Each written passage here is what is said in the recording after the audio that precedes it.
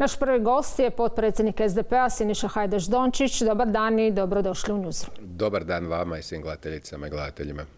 Čuli smo i danas ovo, neke najnovije izjave koje se tiču, sada već možemo reći trakavice oko procesa izbora čelne osobe Vrhovnog suda. Jesmo li po vašem mišljenju već sada u krizi vlasti? Ne, nismo jer dovoljno još ima vremena dakle, do izbora nove predsjednice Vrhovnog suda Republike Hrvatske, ali ovdje je ono pitanje koje je temeljno koje bi trebali zapravo svi postaviti, ako se možemo malo isključiti, da tako kažemo, iz ovog prijepora e, koji je nastao e, od predlagatelja, to je predsjednika Milanovića i Plenkovića koji ima saborsku većinu, je zapravo vrlo jednostavno. Da li osoba koja je po nama u SDP-u izvrstan kandidat, i koja bi obnašala dakle tu odgovornu da tako kažemo dužnost, kažem dužnost a ne funkciju, vjerojatno na način da bi prodrmala hrvatsko pravosuđe, a ako opet malo pogledamo unazad, ako gledamo neke analize, a uvijek se benchmarkirate s nekim državama, osobito u Europskoj uniji, mi smo zapravo na zadnjem i na predzadnjem mjestu, dakle što se tiče efikasnosti pravosuđa, a isto tako što se tiče efikasnosti, efikasnosti da tako kažemo, poslovnih procesa ili trgovačkih sporova koje se vode također u pravosuđu. I sad imate jednu osobu koja nema što je najvažnije obveza. Dakle, ključni hrvatski problem u radu svih institucija je ako uzmete osobu koja iz te institucije i stavite ga na prvo mjesto, on ili ona u sebi ima strah što će se dogoditi i gdje ću se ja vratiti. Dakle, zato nije dobro ljude iz tih institucija zapravo staviti na čelna mjesta, a kandidatkinja gospodina Milanovića e, zapravo se vraća na fakultet. Dakle, nema nikakvih obveza dakle prema, nikim, prema, prema, prema nikome dakle u pravosudnom sustavu. Sad se vraćamo na ključno pitanje. Ja neću ulaziti u ovo pitanje tko je u pravu, tko je u krivom. Dakle, Zoran Milanović se poziva na Ustav, vjerovatno na prvu ja bih isto rekao da je s te strane apsolutno pravo, dobro postoje ovdje i neki zakon, ali se vraćamo na ono pitanje forme ili sadržaja. Dakle, ključno pitanje koje treba postaviti Andreju Plenkoviću, dakle, će njegove zastupnice i zastupnici u konačnici zbog dvotrećinske većine odlučiti o izboru novog e, suca Vrhovnog suda je da li je osoba koju je predložio Zoran Milanović njima prihvatljiva. Ako vidimo i ako se ova cijela farsa radi iz tog razloga da je ona njima neprihvatljiva, da je njima super u HDZ-u da je stanje u sudstvu ovako kako je napravio njihov ideolog pravosuđa gospodin Vladimir Šeks, što znači da zadržavaju status quo. Što vam to govori? To vam govori da će tražiti oni tisuću i jedan način da onemoguće Dobro, dolazak jedne nezavisne... Ali jedne... prijepor je nastao i prije nego što smo saznali tko je kandidatkinja predsjednika države. Dakle, HDZ i premijer u ovom slučaju isključivo se pozivaju na postojeći dakle, ustav i na postojeći zakon koji je izglasan prije tri godine. tada SDP nije imao u tom dijelu, u načinu da DSV raspisuje javni poziv, ništa protiv. A mi smo glasali protiv tog zakona. Protiv zakona, ali sasvim nekih drugih razloga. Znamo da je tada bila velika, velika problematika oko osnutka e, Visokog kaznenog suda, da je e, gospodin Grbin, ali i tadašnji zastupnik, a sada savjetnik predsjednika Miljenić, da su to slali na Ustavni sud, ali e, niko nije spominjao da je problematična procedura izbora i javni poziv koji raspisuje DSV. Dakle, ja pokušavam stvarno ono razmišljati, dakle, bez ikakvih okova. Dakle, ovo vam je još jedan dokaz da je većina natječaja u Hrvatskoj zapravo farsa. Jer što se događa? Dakle, predsjednik bi trebao u ovom slučaju, evo to nam je slučaj, obavljati neke razgovore sa potencijalnim kandidatima i onda njih nagovori da se jave na nekakav natječaj ili javni poziv da budem točan i onda opet već ono naprijed dogovoreni koji se jave na javni poziv, on ih predlaže Hrvatskom saboru.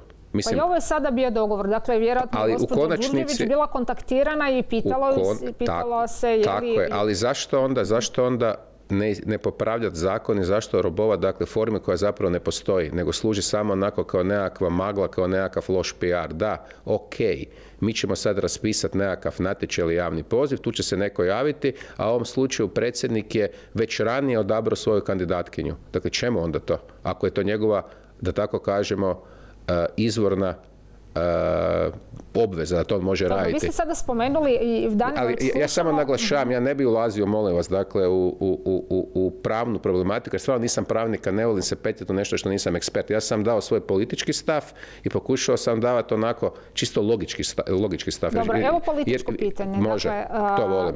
Zlata Đurđević, ako je toliko dobra kandidatkinja, svi danima zaista slušamo samo hvalospjeve na njezin račun, pa i od strane HDZ-a.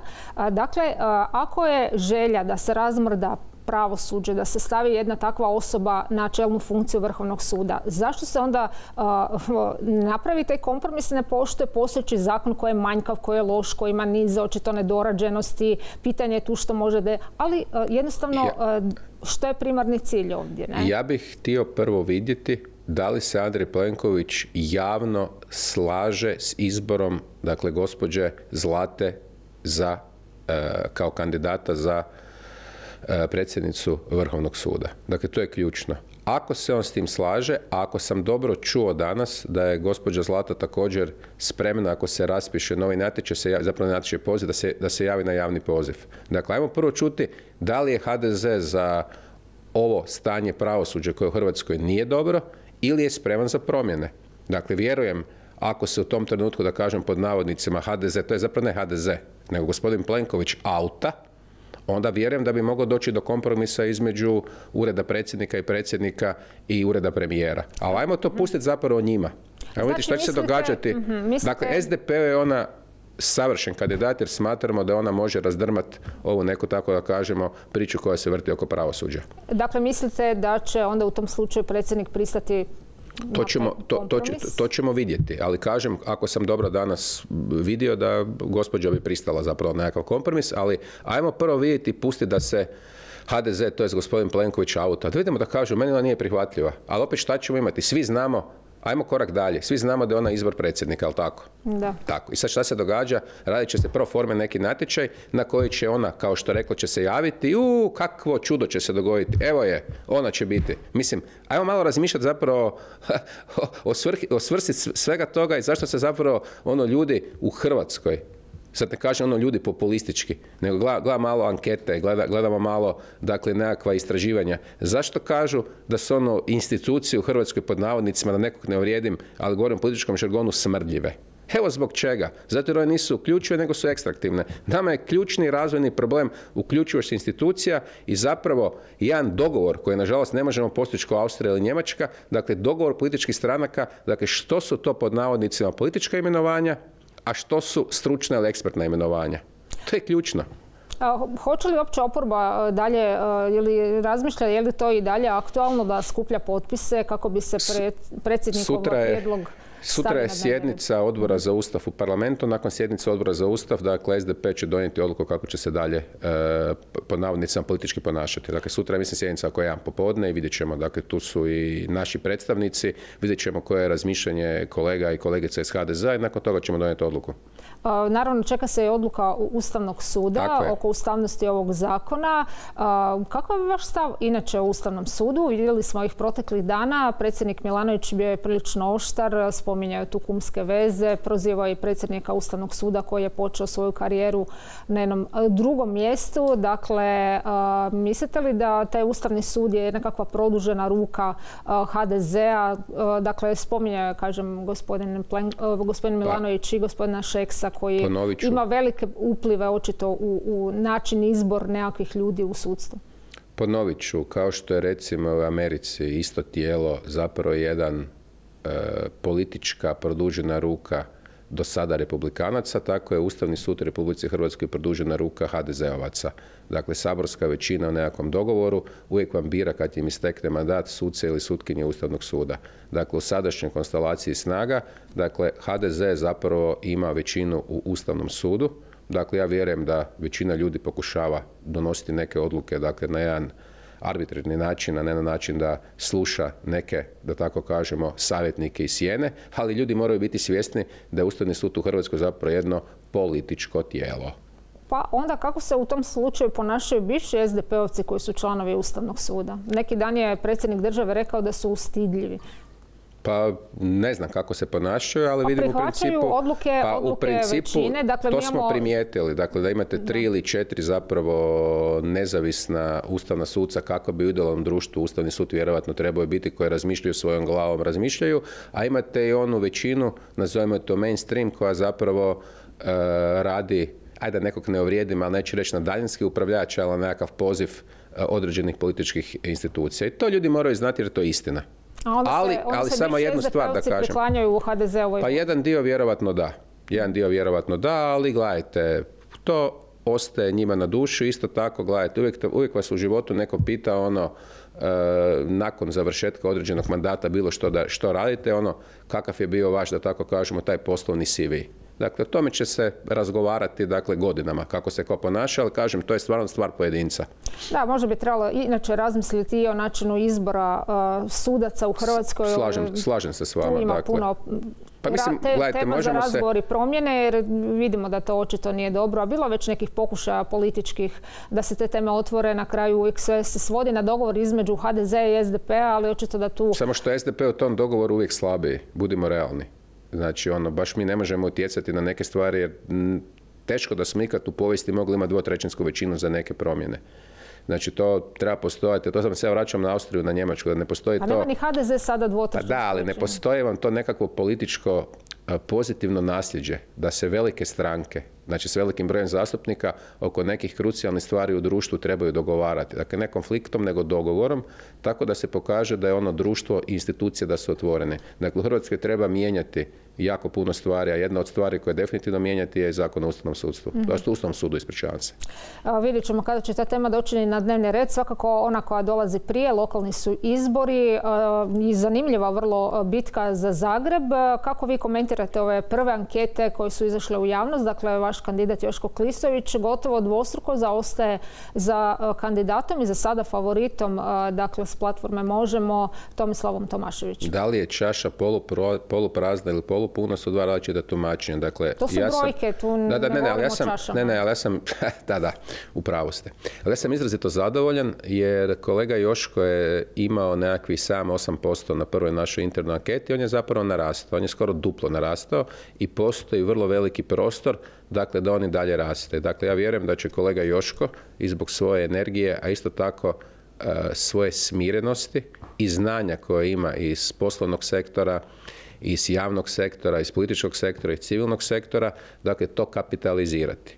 A taj dio najviše ovisi o njemu i ovisi da li će građani grada Zagreba dakle prihvatiti dakle njegovu viziju razvoja grada Zagreba, a uskoro će kolega Joško i predstaviti svoj program i predstavit će ljude s kojima misli ići na izbore i tu je zapravo po meni najveća prednost kolege Klisovića nad kolegom Tomaševićem. Gledajte, mene bi onako srce boljelo da kažem neku ružnu riječ o Tomaševiću, jer on u mom žargonu good guy. On nije loš dečko, on je dobar. Ali, sama njegova izjava da će on vrlo teško, pod navodnicima izjava, naći, pod navodnicima, dovoljan broj ljudi, znači, kada pobijedi, da mogu sutra, dakle ne danas, nego odmah sutra, e, preuzeti određene dužnosti, dakle u holdingu i u gradskoj upravi. Dakle, vi morate imati određen krug ljudi, određeni krug stručnjaka, dakle, koji će vama biti servis. Grad je veliki. Znači, tu je ta najveća prednost Joška Klisovića. Joško Klisović i zbog povijesnog nasljeđa SDP-a, Dakle, ima ljudi koji su bili i bivši ministri, i zamjenici ministra, koji su radili u gradskoj upravi, koji su neokaljani u odnosu sa pokojnikom Bandićem, dakle koji mogu sutra biti šefovi za financije, šefovi holdinga, dakle to kolega Tomašević nema. Dobro, ali pretpostavlja se da će se tim stvarima, ako tako budu pokazali izborni rezultati, i možemo i SDP, pa i ove druge ostataka ovog ljevog, lijeve oporbe za sada u Zagrebu, sjesti i dogovoriti o načinima funkcioniranja gradske vlasti. Dakle, tu neće biti sve ni u Leno možemo, ni, ni neće, ponajmanje ali, SDP. Ali zašto ponajmanje? Možda će baš biti obrnuto. Dakle, ja vjerujem u kolegu Klisovića, vjerujem da kolega Klisović je jedan vrlo veliki kapacitet, da tako kažemo, za gradonačelnika i da bi taj grad zapravo normalno počeo funkcionirati, dakle pod jednom mudrom, kažem, ne vladajućem, nego upravljajućem, upravljajućem palicom kolege Klisovića. Dakle, naravno, S druge strane, zašto kažem da bi dušu griješio da kažem nešto ružno o gospodinu Tomaševiću, on je good guy i za njega vjerovatno također u drugoj fazi ima mjesta, dakle, u nekoj participaciji e, buduće budućeg modela upravljanja sa gradom Zagrebom. Dobro, dakle, ne znam ja ću, sad ako gospodin Tomašević ovo sluša, možda bi se nasmio jer on neki dan rekao da je moguće da on pobjedi već u prvom krugu.